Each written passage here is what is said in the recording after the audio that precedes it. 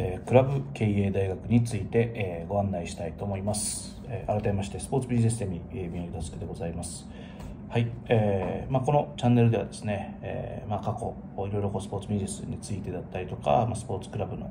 経営とかね、えー、そういったことに向けて、まあ、情報を配信させていただいておりました。はいでまあ、その中で私がですねこの2021年7月にリリースしたあクラブ経営大学という、まあ、ウェブサイトのご紹介をしたいと思います。はい、でまず、まあ、あクラブ経営大学というのが、まあ、どういった目的で作られたのかということについてですね、えー、お話をしたいと思います。はい、で、まあ、やっぱりですね、あのまあ、私も今もね、えーまあ、この今クラブ経営をしてきましてで、まあ、過去もちろんいくつか作ってね代表したりとかあ代表ではなくてもある種のね意思決定をする、まあ、理事であったりとか役員をですね、えーまあ、過去務めてきましたから、えーまあ、その中でねやはり、まあ、同じ理事でも本当のまあ経営者株式会社でいうと、まあ、代表取締役とか、えー、代表理事と呼ばれるような本当に最終の意思決定をする皆さんとまあ取締役とかね、えー、まあただの普通の一般の理事とでもやはり責任の重さとかそういったのがね全然違うわけですね、うん、で、まあ、そういったのを、まあ、私も過去の経験からですね、まあ、身をもって、えー、経験をします。でそれが具体的にじゃどういうことかと。ね。それは役員会とかあ理事会とかでいやみんな俺たち仲間だよと。みんなで一緒に頑張ろうと、うん、何かねそういった大変なことがあってもみんなで乗り切ろう、うん、っていうふうにみんなでやっぱりね意思確認をするわけです。でもちろんその気持ちは嘘はないと思うし、えー、みんなで頑張ろうっていうことはやっぱりあると思うんですけどやはり法的な拘束力とかあそういった意味でおいてはですねやはり、まあ、例えばじゃあお金がないからキャッシュフローがないので、えー、銀行から借り入れをすると、ね、そしたらじゃあその法人の代表者であるあなたが、ねえー、その事業を始めるその代表のあなたが、えー、その、ね、責任になるわけですね。例えばじゃあ法人というのは法律の人格になるわけですからその法律のね、えー、中での人格法人のねあのやっぱりそれを、まあ、やっている方ということですので,、ね、であなたにじゃあ連帯保証人という形でやはり代表者個人が、えー、そこにかぶるわけですよね。なので例えばじゃあクラブの業績が悪かったらね、え、会社がじゃ潰れますということになった時にはもちろんみんなでって言っていてもですねやはり代表者であるあなたにその責任が重くのしかかってくる。ね。で、えー、もちろんね例えば金銭的な支援をしてくれたにしてもえー、っとなんだろうやっぱりね何かの今後のまあ、信用とか、まあ、それこそクレジットとかね銀行でのいろいろ取引の中での信用に傷つくっていうのはやはり代表者であるあなた自身に降りかかってきます、うん、で、えー、まあ、もちろんそれだけじゃなくて日々の業務ですよね、えー、事業をしていく中でさまざ、まな責任意思決定をすると。いう中でねえ、まあもう本当に経営者の方は孤独だし、え、いろんなことを常に勉強しながらアンテナを張りながらしなければいけません、うん、でえっ、とまあねあのそれぞれいろいろやり方あると思うんですけど、まあ、私はねあの経営者とそれ以外のなんだろう指導例えばスポーツクラブでよくあるんですけどもあの自分クラブの代表者をしながら、えー、指導者もするとかねあれもするこれもするというようなことっていうのは、まあ、正直お勧めをしていません、うん、で、えーまあ、なぜかというと、まあ、私もねできるだけ、えーまあ、日々の細かい、えー、経営業務と、まあ、事業を作ると。もちろんチェックはしますし、えー、出てきた数字の中でいやここもっと減らしなさい。いやこれもっと売り上げを頑張ってあげよう。っていうことはするんですけどもやはりそれを一人でやるとですね、まあ、例えばじゃあ、えー、通帳を見て今月お金ないなと思ったらよしじゃあちょっとグッズね作るとか何か事業新しくするやつを、まあ、来月に伸ばしましょうとか、うん、そういう話をねえ自分で決めちゃうわけですよね、うん、今じゃ例えば本当に4月に向けてね春の入学入会キャンペーンをしましょう。ね。だけど年度末に支払いが立て込んでしまってお金がないから現金が、えー、事業をやるのちょっとじゃあ5月のゴールデンウィーク前でいいかなとか夏休み前でいいかなっていうような、えーまあ、判断になってしまうわけですよね、うん。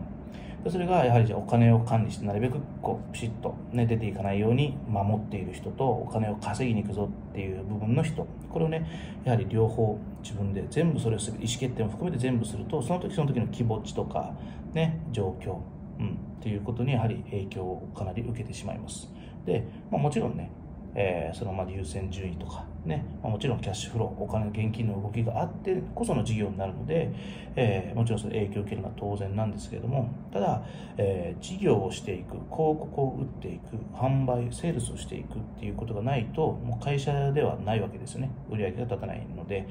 えー、っていうことにおいてですね、じゃあどういう意思決定をしていった方がいいのかっていうところは、えー、やはりかなり重要なポイントになってきますので、えーまあ、そういった、ね、ことを判断する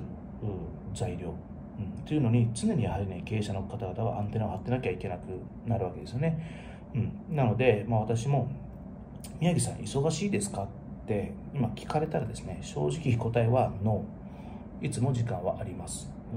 うん。ね。えー、なので、え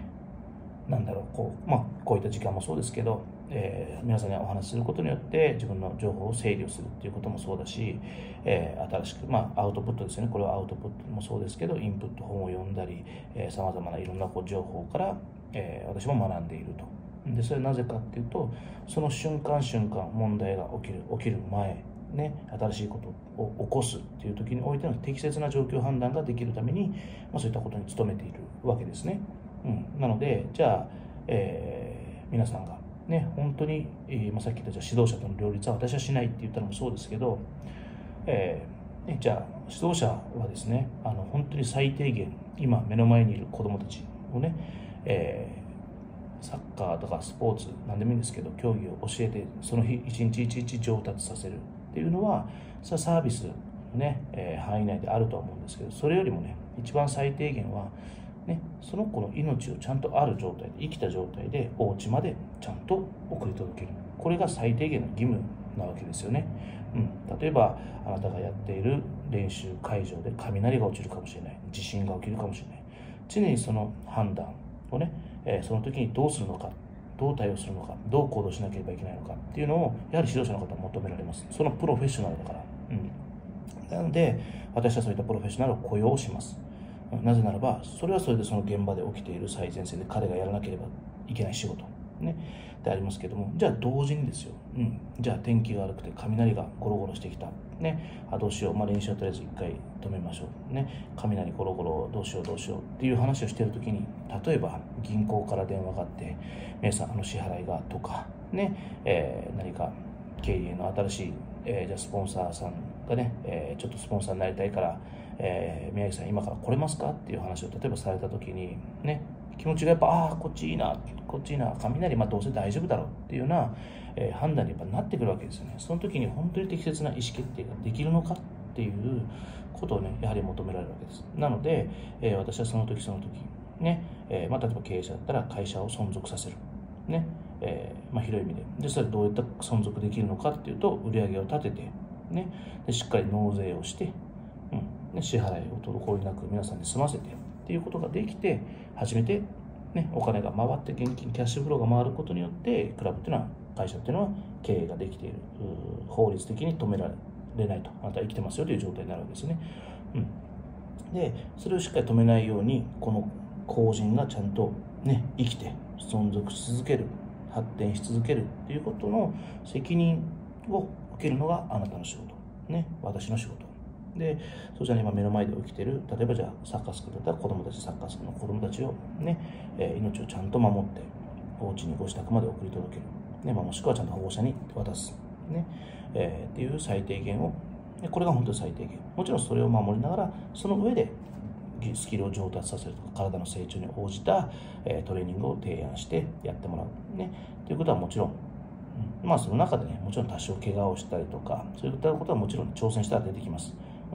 僕らだってちょっと事業をやったけどうまくいかない事業とかっていうことももちろんあります。ね、それはもちろんそうなんだけど、えー、ね、お互いに一番最低限はその継続させる存続させるっていうことがまあ非常に大事、うん、っていうような、えー、まあ状況なので私はまあそういった指導者だったりとかそれぞれのお金の会計を見る人ねえー、事業を進める人っていうような事業の業務分担っていうのをやった方がいいなっていうふうに思っているわけですね。まあそういったいろんなこういった情報クラブを経営するためにこの人がやるべきこと、ね、こう最低限本当にシンプルに、ね、僕ら社長の仕事。ねえー、クラブ代表者の仕事っていうのはそのクラブのキャッシュフローを止めないようにする、うん、血液を流し続ける。これが、ま、我々の仕事。でそうする上での、ね、情報を発信する、ねえー、そういった時に、えー、宮城さんちょっとこういうことがあるんだけどって悩みを相談できるような場所を作っていくそれが私でいうそのクラブ経営大学ね、それはクラブ経営大学の無料のウェブサイトはもちろん無料で情報を発信してますので、ぜひ皆さんが使える部分はもうどんどんタダで、えー、使い、もうフルしていただきたいし、どんどん使っていただきたい。で、まあね、さらにそこからじゃあ有料で、まあ今いらっしゃいますけど、会員さんも、えー、クラブ経営サロンっていうような、今度はサロンの部分では、もちろん今度はじゃあ、えー、今までは一方的な情報発信だったんだけども、それをまた受けて、ね、えー、コミュニケーションが生まれるっていうのがまたその次の段階として、まあ、あるわけですね。で、まあまあ今日はそのサロンの話はしませんけども、なので、そういった形であなたがね、孤独に、クラブ経営者として孤独に戦っていて、えー、自分のクラブを存続させること、うん、クラブの血液を止めないことっていうことで頑張っていく上でですね、必要な情報とか、うん、そういった、えー、クラブの同じ悩んでいる仲間たちとか、そういった人たちの情報であったりとかっていうのをね、えー心細いじゃないですか。皆さんもそういうの見たいですよね。私自身がそれ見たかったしその話聞きたかったのでまあそういったのを話が聞けるようにしようということでこのクラブ経営大学というものを作りました。なのでねもうめちゃくちゃ僕はニッチだと思ってます。ね、えー、1億人人口がいてね1000万人見るようなサイトじゃ正直ないです。うん。もしかしたら100人かもしれないしね、えー、いても1000人とか。ね。今全国にじゃ総型スポーツクラブが3500あると言われてますけど、うん、その経営者の皆さんがね、えー、全員見たら今多分日本はこのようなクラブ総型の状況には僕はなってないと思うんですよね。なんでマクドナルドスターバックスより総型スポーツクラブの数の方が多いのになぜこれだけ認知されていないのか、ね。えー、そういったことを突き詰めていくとやはり経営者も学ばなきゃいけない。情報発信していかなきゃいけない、ね、そういったのをする上で、まあ、まずはね、えー、みんなをねぎゅっとまとめるっていうのはまあまだまだねえー、意思がそれぞれいやいやもうなんとなく続けばいいなっていうぐらいでもう延命してるようなあ植物人間って言ったらちょっと言い方悪いのかな。こう本当にねもうコミュニケーションも取れないような状況、うん、なるようなクラブもう本当に大丈夫なのかなっていうようなね、えー、ところも正直ありますけど、まあ、そういったクラブはねもう正直私が救うことはできないので、えーね、それはもうしょうがないですけど、いやでもこれから始める、新しく作りたいとかね、発展させていきたいっていうような人たちにおいてはですね、えー、ぜひね、あの有益な情報となるように私も頑張っていきますし、逆に皆さんからこんなこと聞きたいと、ね、いうようなことがあれば、まあ、ぜひね、あのコメントであったりとか、メッセージもいただけたらなというふうに思います。まあ、実際ね、あの、この YouTube 動画見ましたとか、えっ、ー、と、このクラブ系大学のね、ウェブサイトから問い合わせをいただくこともね、あります。この有料なんですけど、1時間のね、え相談、コンサルティングを受けたいですっていう方々もおります。うん、で、えー、ね、もちろんそういった形でもいいですし、えー、まあ、具体的にはね、えー、事例は言いませんけれども、うん、そういったことでのどんどんどんどんもう皆さんが起きてる問題に対して、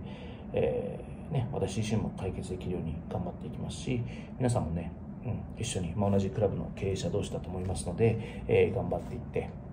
でね、えまあ、こういったコミュニティの中で、え、日本のね、え、このスポーツそしてスポーツクラブで、え、それぞれのあなたの地域私の地域の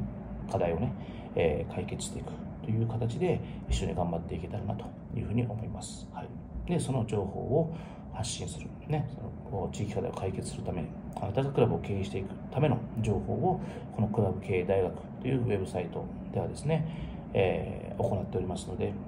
情報発信を行っておりますので、ぜひね、えー、ご覧いただきたいと思います。はい、で、まあ、概要欄に、えー、リンクを貼っておきますので、ぜひ、えー、皆さん、ね、見てみてください。はい。ということで、え、今日はクラブ経営大学のご紹介をさせていただきました。以上になります。